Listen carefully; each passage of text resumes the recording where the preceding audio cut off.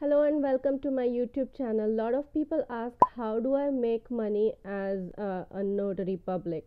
Uh, people are confused that the state uh, fees are like six dollars, so how or ten dollars in certain states. So how is it that I I make money as a notary public? Well, when you are doing general notary work, then you have many options. Um, to work for you can go into um, uh, to notarize documents into hospitals into hospice centers into nursing homes into um, prisons and jail houses you can go into schools there are so many places you can go into tow yards and you can market your business.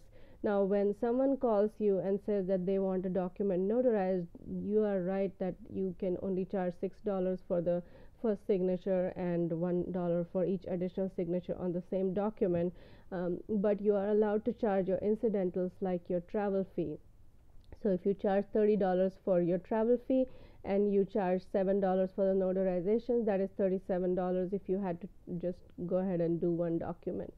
The other way is to of course become a loan signing agent and this this um, channel has videos uh, about that about how to become a loan signing agent. So please go ahead and look at those. I hope you like this video. If you did please give me a like and a thumbs up and please do subscribe to this channel so that i can bring you more content like this